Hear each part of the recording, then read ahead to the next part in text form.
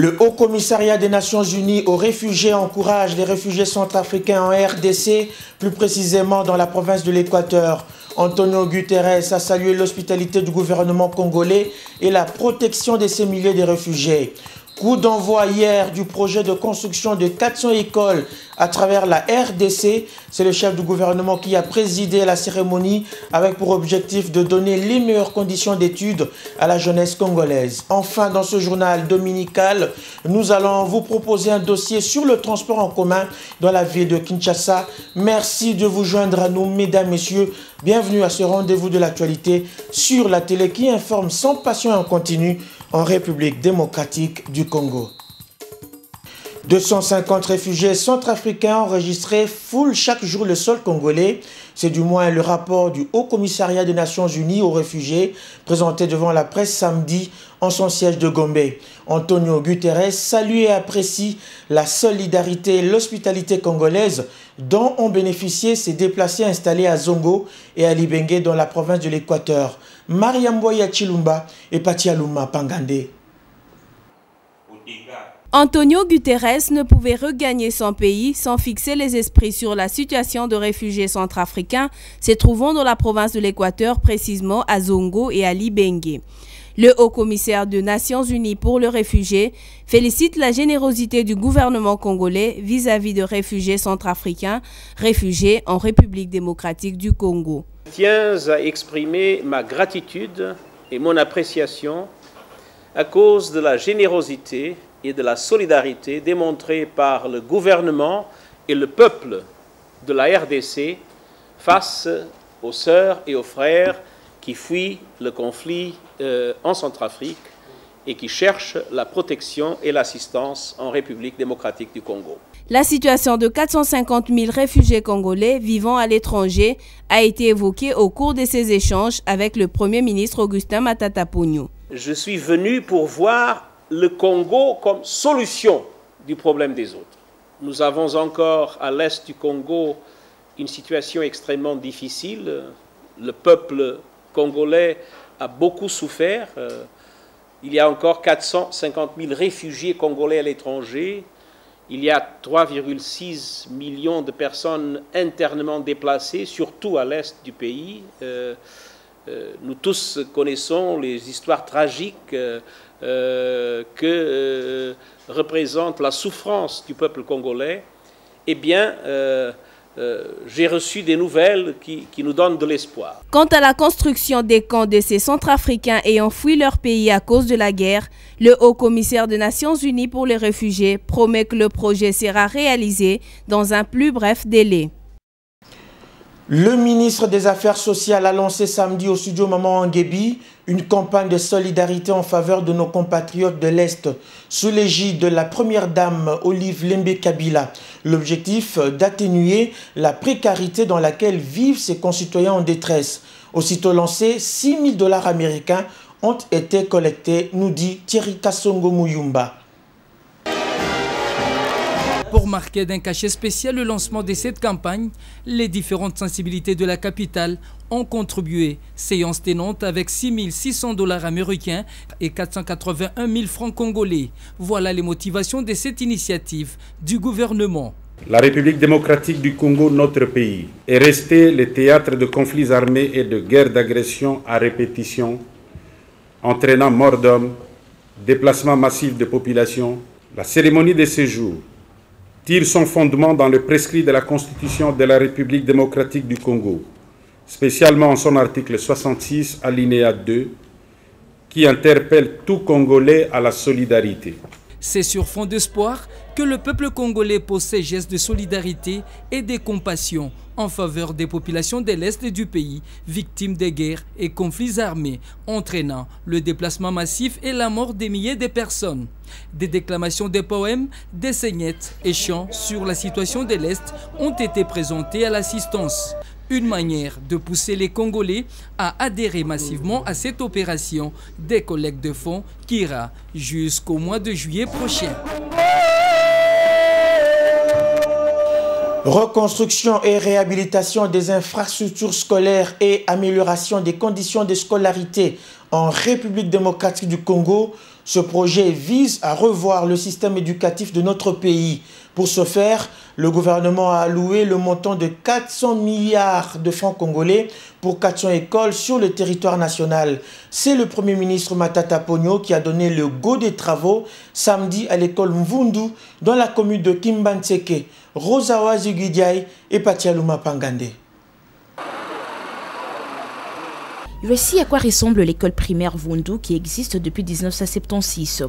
Pas de portail. L'école n'a que 6 salles de classe pour un effectif de 388 élèves. Et ces salles de classe n'ont pas de pavement, d'autres même sans toiture. À peine quelques bons un groupe d'élèves suivent le cours à même le sol ou sur ses briques.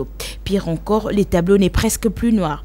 C'est dans ces conditions qu'étudient les élèves de cette école primaire. Les après-midi, cet établissement reçoit les élèves du secondaire pour le compte de l'Institut Touzolana. Bonne nouvelle tout de même, cette école figure sur la liste des écoles qui devront être reconstruites par le gouvernement dans le cadre du projet de reconstruction et de réhabilitation des infrastructures scolaires de la RDC. C'est ce qui justifie la pose de la première pierre de construction par le Premier ministre Matata Pogno, ce qui fait la joie de bénéficiaires. Merci Seigneur Dieu. Ce rêve va devenir une réalité quand nous, quand nous verrons notre école reconstruite par votre gouvernement? Nous vous disons merci d'avance. Et nous sommes heureux parce que le gouvernement vient nous redonner l'espoir du travail. Nous les remercions et nous pensons que cet acte va s'étendre sur toute la République du Congo pour tous les enfants et pour l'intérêt de la jeunesse. Le gouvernement n'attend pas s'arrêter en si bon chemin, rassure Maker Mwango. Vous témoignez de façon éloquente à demeurer attaché aux paroles agissantes et surtout à la vision du président de la République et chef de l'État, son Excellence Joseph Kabila Kabange, celle de faire de la République démocratique du Congo un pôle d'intelligence et du savoir-faire.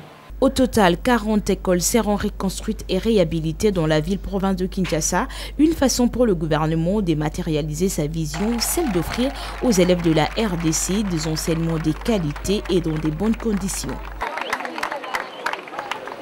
Les lampions se sont éteints samedi dans la salle Bakanja du centre d'accueil de la Caritas sur les journées des réflexions du consensus intégré de Sun City dix ans après. À l'initiative de la société civile à travers le projet SCO, les participants venus de tous les secteurs de la vie ont formulé des recommandations visant à pérenniser ce cadre de dialogue non formel à tous les niveaux. Oscar Bakandoa, Serge Côté et Fiston Bouini, reportage. Ces journées ont connu la participation des acteurs politiques, des hauts responsables des partis politiques, du monde scientifique ainsi que des membres de la société civile. Après une analyse minutieuse à travers des exposés de haut niveau, les participants ont formulé des recommandations allant dans le sens d'instaurer un cadre de dialogue permanent pour évaluer la marche du pays. Pour la préservation des valeurs de consensus et de vertu du dialogue comme élément fondateur du destin de vivre ensemble des filles et fils de notre nation, de mettre en place un cadre permanent et non formel des dialogues inclusifs entre les leaders politiques, religieux et associatifs de notre pays. Les participants ont rendu un hommage aux initiateurs de ces journées pour leur courage, leur sagacité en songeant d'organiser ces journées qui se sont penchées sur le diagnostic des accords de Sun City dix ans après. Aujourd'hui, moi je pense que quand la société civile s'élève et nous invite pour révisiter Sun City, notre maladie du Congo, c'est que nous signons les accords. Une fois signés, on oublie qu'on a signé les accords, on ne les applique pas. Si nous pensons que c'est une étape importante de notre marche dans la démocratisation, nous pouvons nous réapproprier ces résolutions, ces recommandations et voir comment les exécuter une à une. Le consensus de Sun City a été le jalon d'une refondation de la République démocratique du Congo et ces recommandations formulées devront être soumises à tous les acteurs, c'est-à-dire aux partis politiques, gouvernements et la société civile à tous les niveaux.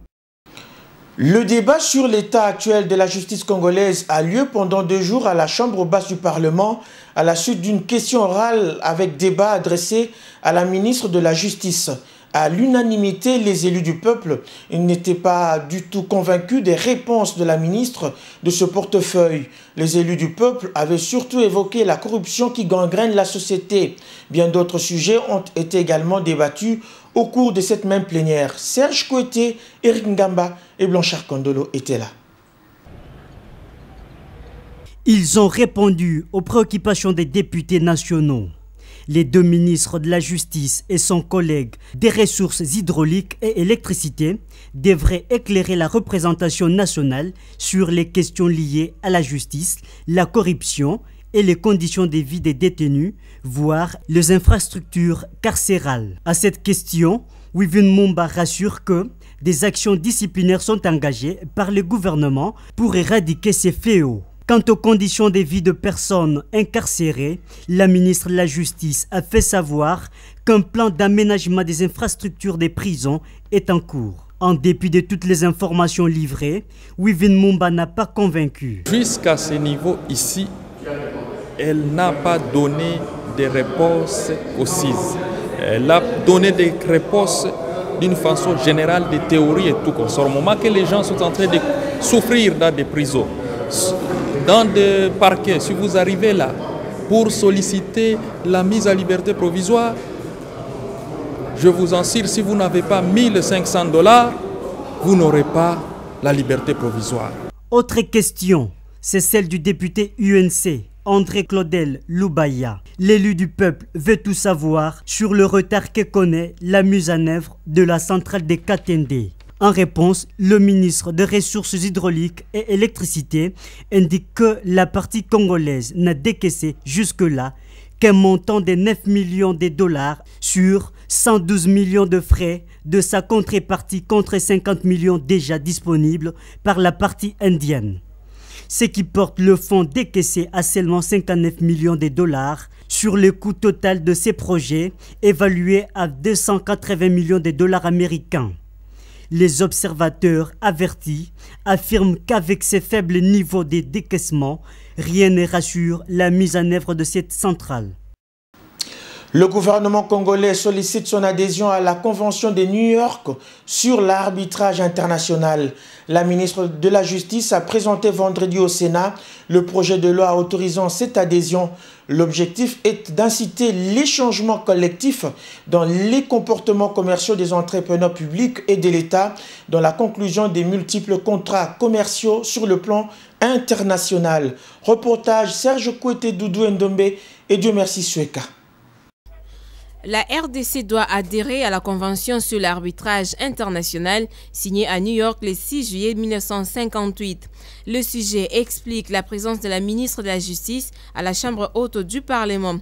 Wivin Mumba attend obtenir l'accord des sénateurs pour permettre au pays de bénéficier des bienfaits de cette convention qui a comme conséquence d'inciter les changements collectifs dans les comportements commerciaux des entrepreneurs publics et privés en vue de la conclusion des multiples contrats commerciaux sur les plans international avec des investisseurs et les partenaires au développement.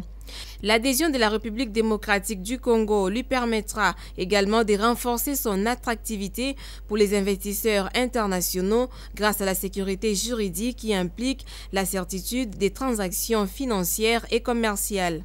L'exposé de la ministre est suivi par un débat le, les sénateurs ont voulu obtenir de la ministre l'état des lieux de la justice congolaise qui devrait jouer un rôle déterminant dans la signature de cet accord. Elle reviendra ce samedi pour répondre aux préoccupations des élus des élus. La position du 1-23 face au déploiement de la brigade d'intervention et l'implication des différents pays à l'envoi de leurs troupes pour le maintien de la paix en RDC a constitué l'essentiel de la vidéoconférence de la MONUSCO mercredi en son quartier général. Le porte-parole militaire affirme qu'il n'y a pas de doute pour le contributeur de cette troupe à son déploiement. Reportage Mariam Boya Chilumba et bienvenue Kassa.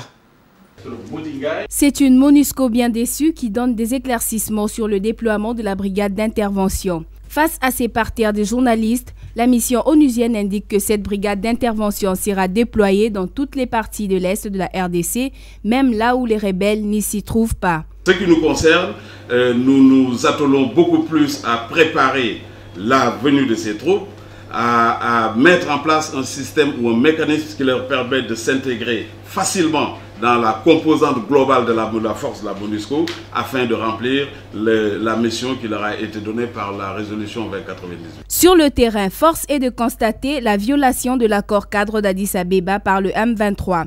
Mais cela n'empêchera en rien le déploiement de la brigade d'intervention comme le précise Félix Prosper Bass, porte-parole militaire de la MONUSCO. Et il est tout à fait normal, comme vous le savez, que lorsque les groupes armés sont traqués, il est tout à fait naturel qu'ils se replient ou en tout cas essaient de chercher refuge ailleurs. Mais notre déploiement est assez conséquent et comme vous l'avez dit vous-même, nous avons les moyens nécessaires, les moyens logistiques pour essayer de contrecarrer euh, tous ces mouvements éventuels qui pourraient survenir à l'issue des, des actions offensives que nous allons mener.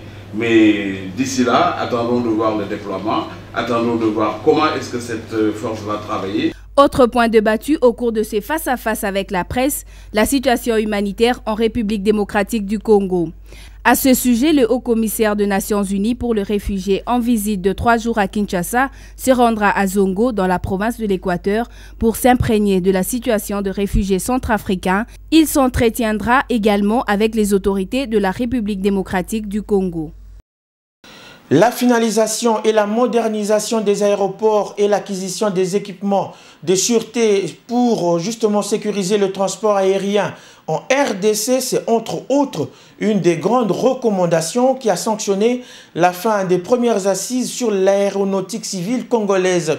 Cet atelier placé sous le thème Les défis de la sécurité aérienne, clôturé vendredi, est l'initiative du ministère des Transports et Voies de Communication, cela dans le but de réduire les taux d'accidents dans l'espace aérien congolais. Jémi Madiane Mogo Mambassa et Dieu merci Soueka Mavungu, reportage.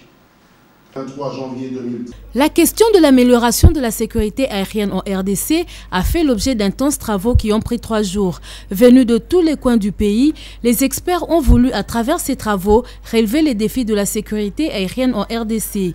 Les participants ont formulé quelques recommandations qui vont dans le sens d'entrevoir une nouvelle ère de l'aéronautique congolaise acquisition des véhicules de lutte anti-incendie aux aéroports de Bougimaï, Kindu, Goma, Kolwezi et Ndolo. Insuffisance du personnel qualifié dans les compagnies aériennes, prix élevé des billets d'avion, surcharge des avions, 12. Mauvaise qualité des services rendus aux passagers, arrangisme généralisé dans l'obtention des titres. Justin Kalumba, ministre des Transports et Voies de Communication satisfait, exhorte chacun des participants à s'impliquer pour garantir la sécurité aérienne dans notre pays. Nous avons fait un exercice extrêmement intéressant, la remise en cause collective et chacun des intervenants dans ce secteur. Donc, ça nous a permis de dégager les faiblesses au niveau structurel, au niveau comportemental, au niveau des équipements. Et donc, parce que les faiblesses sont identifiées, nous avons aussi euh, dégagé des actions à mener à très court terme, à moyen terme et puis à long terme. Ces premières assises de l'aéronautique civile constituent le début d'un débat qui devrait aboutir au progrès du secteur aérien en RDC. La Fédération des entreprises du Congo rend le silence depuis le début de la grève des transporteurs et des convoyeurs de camions poids lourds sur la nationale numéro 1. Le patronat congolais réuni vendredi en son siège est fier d'annoncer sa satisfaction vu que les 30% de ses membres œuvrant dans ce secteur respectent les accords du communiqué conjoint du 17 janvier dernier avec le gouvernement. La FEC refuse d'être responsable de toutes conséquences liées à cette crise. Élisée Bilonda Kassonga. Cette réunion du comité de direction a permis à ces cadres du patronat congolais d'examiner tous les dossiers brûlants de l'heure, notamment le conflit Tekefungurume Mining de Gérard, le projet de l'arrêté ministériel instituant la taxe spécifique des vignettes sur les cigarettes, ainsi que la grève de chauffeurs et convoyeurs de camions poids lourds sur la route nationale numéro 1, l'axe Boma-Matadi-Kinshasa, depuis le 8 avril dernier.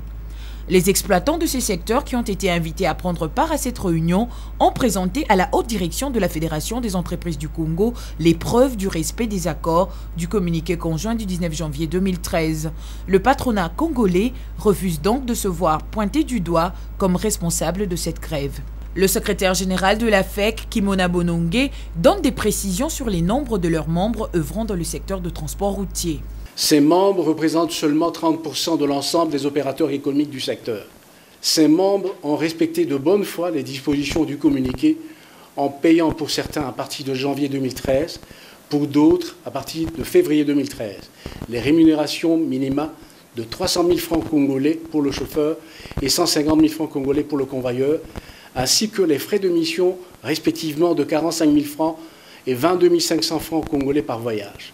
Les entreprises membres sont empêchées de travailler depuis le 8 avril et ne bénéficient pas de protection suffisante des services compétents de sécurité du fait du non-respect du communiqué conjoint du 19 janvier 2013 par les entreprises évoluant dans l'informel. S'agissant du financement des activités des femmes entrepreneurs, le comité de direction de la Fédération des entreprises du Congo appelle le gouvernement à mettre en place un fonds de garantie devant couvrir les risques attachés aux crédits octroyés aux PME en général ainsi qu'aux femmes entrepreneurs en particulier. Je l'ai annoncé en début de ce journal, notre dossier de ce dimanche est consacré au transport en commun dans la ville de Kinshasa, l'une des grandes euh, agglomérations africaines bien entendu dans les secteurs de transport en commun. Kinshasa donne une image désolante. Ce tour de la ville effectué par notre équipe de reportage va nous faire découvrir d'autres réalités. José Junior Ouawa Kambilo.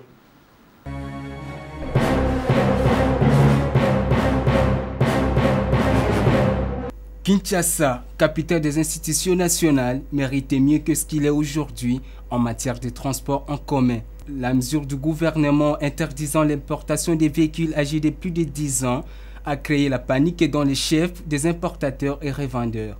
Pour ce membre de l'association de revendeurs de véhicules d'occasion, le gouvernement de la République aurait dû prendre compte du pouvoir d'achat de la population avant de prendre une telle décision aux conséquences économiques et sociales non négligeables, expliquait-il. Même les élus du peuple du Bas-Congo se sont mêlés dans ce dossier pour trouver une mesure de grâce de la part du gouvernement, étant donné que la porte d'entrée de tous ces véhicules, c'est leur province. C'est là pour euh, les problèmes de, véhicules. Il dit que c'est réellement une préoccupation, mais le gouvernement a pris une option pour euh, la modernité. Euh, les ministres du Transport aura déjà à échanger avec lui pour qu'un dossier soit préparé au niveau du Premier ministre, qu'on convainque euh, aussi les autres afin qu'une flexibilité soit trouvée. Quel genre de moyens de transport en commun pour la ville de Kinshasa? Écoutez ce que pensent les Quinois. Pour moi, la solution, c'est le tramway. On crée un réseau de rails et avec euh, des arrêts, c'est ça la solution mais les 250 bus commandés par le gouvernement tardent à être mis en circulation faute d'un bon gestionnaire. Les sont tirés de plusieurs sociétés de transport en commun à ce jour en faillite. Quant aux véhicules déjà en circulation dans la capitale, selon les experts, 80% de ces véhicules n'ont jamais été au contrôle technique.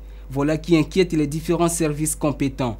On constate qu'après ces mesures-là, il y a les taux maintenant qui a baissé les gens qui venaient souvent au contrôle technique automobile, ils ont maintenant peur. Si on trouve que le véhicule ne répond pas aux normes, nous allons arrêter ou déclasser les véhicules. Or, en réalité, nous, c'est juste pour évaluer l'état technique de ces véhicules-là. Autre difficulté dans ce secteur, c'est l'amateurisme des conducteurs qui n'ont aucune culture de respect du code de la route, en dépit de la campagne du civisme routier lancée par le gouvernement à travers les ministères des Transports et Voies de Communication. Il suffit de tenir le long du boulevard du 30 juin pour s'en rendre compte. Il faut un formatage pour les usagers de la route. Les services compétents devront encore faire mieux pour atteindre les résultats escomptés.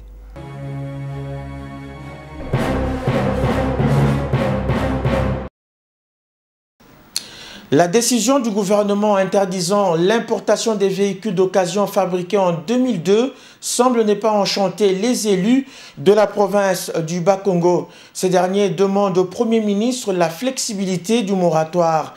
Ils ont été reçus en audience jeudi à la primature. Les deux partis ont planché sur cette question qui touche directement cette province.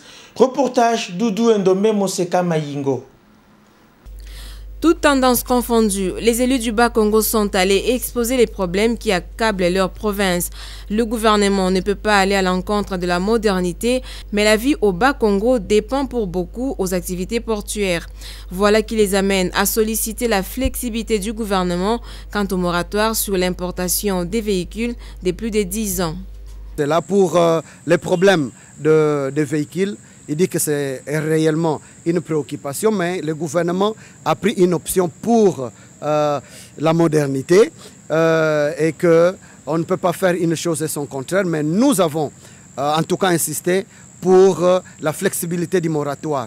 Il nous a promis, étant donné que c'est une mesure qui a été prise en Conseil des ministres, les ministres du Transport aura déjà à échanger avec lui dès demain pour qu'un dossier soit préparé au niveau du Premier ministre, qu'on convainque euh, aussi les autres afin qu'une flexibilité soit trouvée, qu'on ne rapatrie pas de véhicules qui ont déjà été achetés et euh, des véhicules qui sont déjà au niveau de port que cette mesure soit quand même euh, allégée. La nationale numéro 1 contribue beaucoup dans le budget du FONER. Les élus de cette province exigent que les routes du Bas-Congo soient prises en considération dans les programmes de réhabilitation du réseau routier du pays.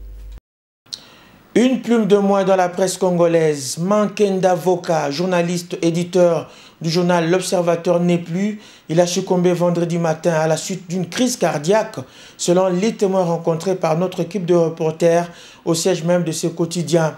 La dépouille mortelle de l'auteur de la rubrique À ne pas lire de L'Observateur se trouve toujours à la morgue de la clinique Galiema. Suivez. C'est un vendredi triste qui se levait au siège du quotidien L'Observateur. Sur les visages des employés, on peut lire l'émotion, la tristesse et la consternation. Voka Mankenda, éditeur de ce quotidien, a rendu l'âme ce vendredi matin de suite d'un arrêt cardiaque, rapporte le directeur de la rédaction, Luc Rogembala. Ce matin, moi je m'apprêtais à aller à l'aéroport prendre quelqu'un. Et c'est alors qu'on m'a appelé au niveau du journal pour me dire que l'éditeur a fait une crise à la, maison, à sa résidence, et qu'il était décédé. Donc jusqu'à preuve du contraire, on ne saura pas vous dire qu'est-ce qui s'est réellement passé. Selon ses proches, Voka Makenda n'accusait aucun problème de santé. Il a même travaillé et bouclé la publication de ce vendredi. À entendre ses collaborateurs, il y avait sans doute des signes prémonitoires qui annonçaient sa mort. Je vous demande une chose, c'est de pérenniser ce journal. C'était des, signes prémonitoires comme ça. Jusqu'à 71 ans, Voka continuait d'écrire dans son journal. Rombo Otaba, journaliste à l'Observateur, témoigne. Je l'ai trouvé exceptionnel et je le disais, mais eh, boss, mais eh, vous, vous enfermez là dans le bureau en train de réfléchir comme si vous aviez encore 25 eh, ans, 30 ans. Est-ce que c'est pas mauvais? C'est ça que je trouvais exceptionnel là il a continué à écrire, à tenir la plume.